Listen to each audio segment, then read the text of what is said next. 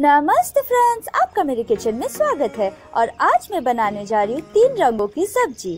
इस रेसिपी के लिए हमें चाहिए एक टीस्पून कलौंजी, कटे हुए गाजर, मटर और कटे हुए आलू। सब्जियों को हम पतले आकार में काटेंगे।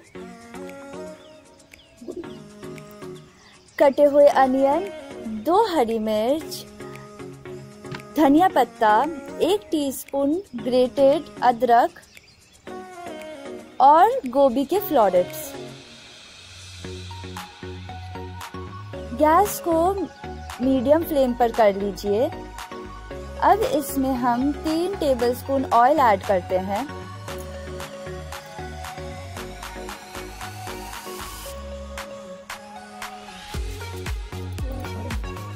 तेल गरम हो जाने पर हम इसमें कलौंजी डाल देते हैं।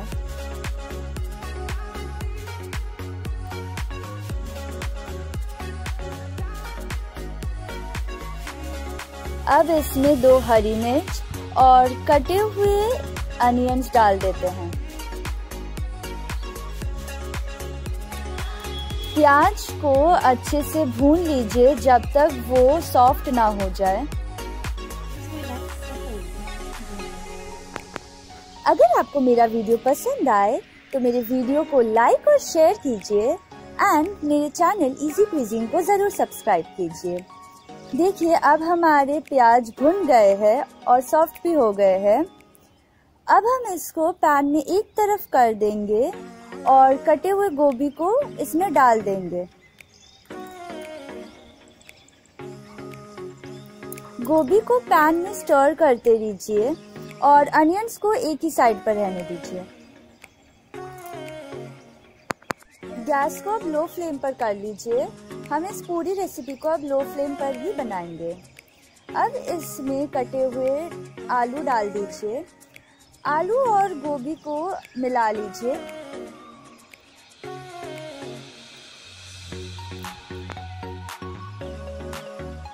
थोड़ी देर भूनने के बाद पैन को कवर कर दीजिए और तीन से चार मिनट तक इसे पकने दीजिए। गोभी, आलू और प्याज को वापस से मिला लीजिए। अब हम इसमें कटे हुए गाजर डाल देते हैं। गाजर को बाकी सब्जियों के साथ अच्छे से मिलाते रहिए।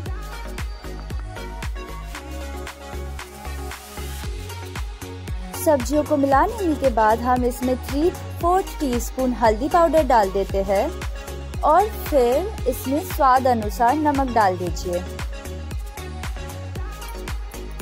नमक और हल्दी पाउडर को सब्ज़ी के साथ अच्छे से मिला लीजिए।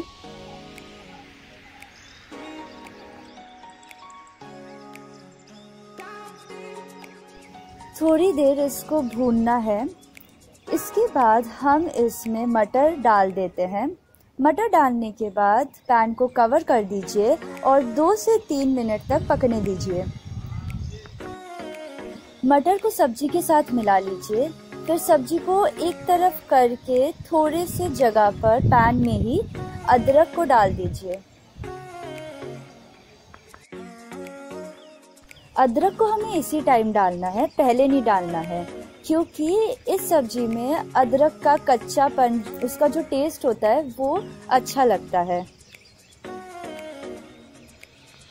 अदरक को सब्ज़ी के साथ मिला लीजिए और फिर पैन को कवर करके सात से आठ मिनट तक पका लीजिए। देखिए, सब्ज़ी अब सॉफ्ट हो गया है और हमें इसमें कोई भी एक्स्ट्रा पानी डालने की ज़रूरत ही नहीं है। सब्ज़ी अपने पानी में ही पक जाएगा। पूरी रेसिपी को हमने धीमी आँच पर ही कुक करा है।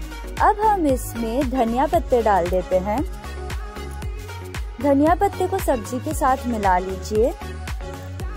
गार्निशिंग के लिए आप ऊपर से थोड़ा सा और धनिया पत्ती डाल सकते हैं। आपकी गाजर, गोभी और मटर की सब्ज़ी तैयार है। Thank you